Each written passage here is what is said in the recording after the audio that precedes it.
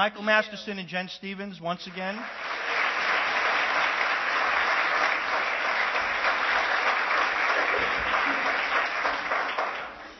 Thank you. Uh, before I give this very important award, I just want to uh, mention one other thing. You know, it, uh, I've spent a lot of time talking about the importance of learning techniques, but what's much more important is implementing them in practice. And our whole session this year on the mini review and the copy logic that we've taught you is about putting you into action. And uh, you also know that I love jujitsu, and I think many of you read that uh, I've written about this many times when people come up to me and they ask me about how do I do this in copywriting or how do I do that? What technique works better? Is it? Well, I used to ask those same questions about jujitsu. There are 500 techniques in jujitsu, and my teacher, when I started learning from him about five years ago, would be pestered every day by me. Well, what if I do this and what if I do that? And he was very gentle and kind with me and he would answer my questions and answer my questions. And then finally, after about a year of this, he turned to me and he said, you know, Michael, there are many, many questions about jujitsu, but there's only one answer. And the answer is practice. Uh, if you don't mind, I'd like to, you to stand up and turn around and give a, a round of applause to somebody who's taught me a lot about winning in life. He's a three-time world champion, UFC champion, and my teacher, Marcus Aurelio. You right back there. Marcus, put your hand up. Please applaud Marcus. Thank you, Marcus.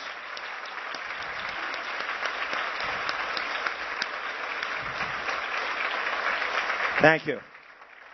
You don't know how much that's going to help me next time I have to train with him. He's not going to. No, we, I will not have a match with him in front of anybody. okay. Our next award, and Jen and I are presenting this, but before we came up here, we realized, you know, we don't, we don't have like a, a back and forth. So, you know, is, is for the, uh, well, Jennifer, you know, you can actually help. Why don't you announce what the actual title of this award is? The, the award would be for the Copywriter of the Year. There you go. And I didn't, I didn't do that just because I didn't know. I did it to try to involve you. Um, uh, you can look pretty, and you do look pretty.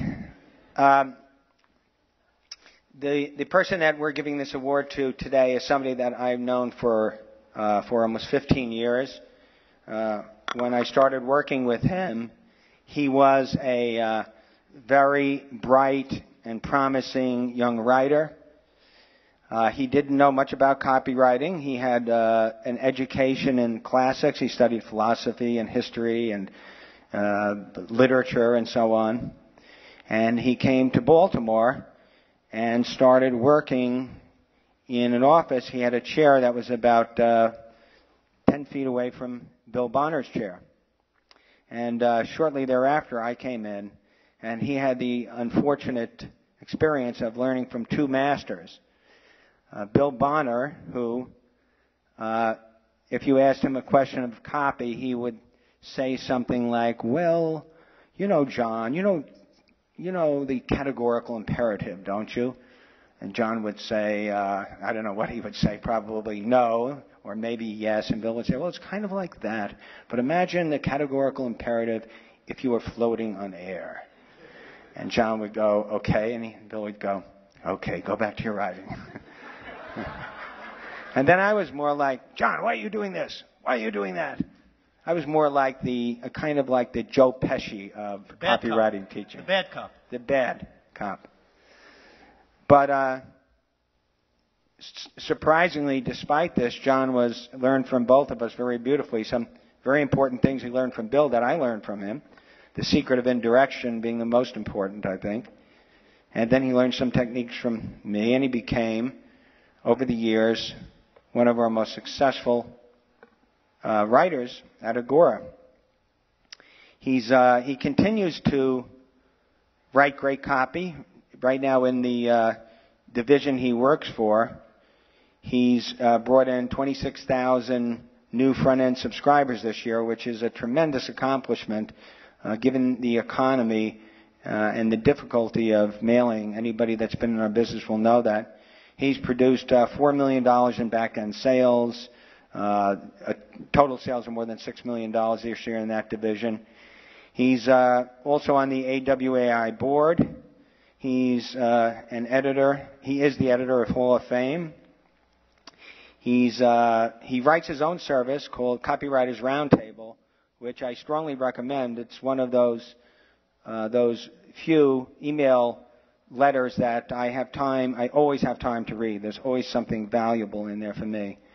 Uh, he was the, uh, one of the um, presenters at the uh, Writers Retreat, and he's going to be with me a co-author of a book that we're writing right now about this whole exciting uh, topic of, uh, uh, leads, the you know differentiating and developing leads. So, would you please uh, stand up and give a round of applause for my friend and colleague and master copywriter John Forde.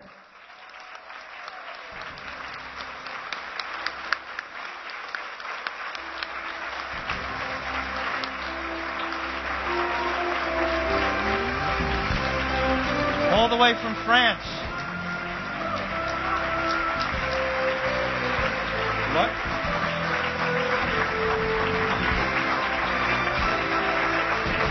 John, thank you.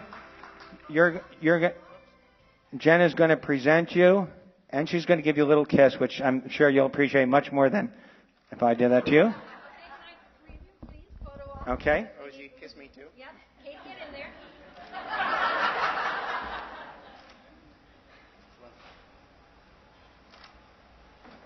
All the okay. way from France. And uh, and you got your beautiful plaque. That is a beautiful plaque right there. Is this a beautiful plaque? Look at that. Look at that beautiful plaque. And this too, I'm, I, uh, I'm going to have to work out the security things about getting this on the plane. I think there are rules against this one. Um, well, I'm, I'm, well, why don't, why don't you? Oh, no, I'm uh, encumbered, encumbered, flattered, very flattered, uh, surprised, and and uh, Pete, I'm not going to try and be funny up here. No. You've got the chops, so I'm. Uh, um, we had uh, there were a lot of things we didn't have in 2001, so you haven't even you haven't even scratched the surface. We yeah. could go on with that forever. I think I tell the story of uh, first meeting Michael and and uh, my experiences with Bill maybe as often or more than Michael does, and uh, it really was quite an experience for me. I I think of my uh, copywriting career. Somebody asked me today what I think of, of working with Agora, which has been predominantly my experience in copywriting, and um, I said I think it's fantastic, and uh, and really for me, which I, I said to the, the gentleman who asked me, and I say to a lot of people, it's, was like a family for me. So, Bill, and I, I, hope, I hate to be schmaltzy, especially in, in, front of this many people. Well, who am I kidding? I like being schmaltzy, but not in front of a lot of people. Um, I am enormously indebted to Michael and Bill, and, and to me, those guys to me have been like brothers, fathers. So Bill can be the, the father, you can be the brother. Uh, and, and a lot of what I have done, you know, now when I write copy, I write it because I'm excited about how it works in the marketplace. I like to see the results, and I like to see see the business grow. And and I'm excited for the people that are working with the business and seeing it grow, and I'm excited for accomplishing that. But for many years, and at least just a little bit now, when I do those kinds of things.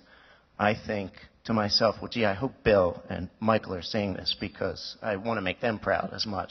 So, so thank you very much.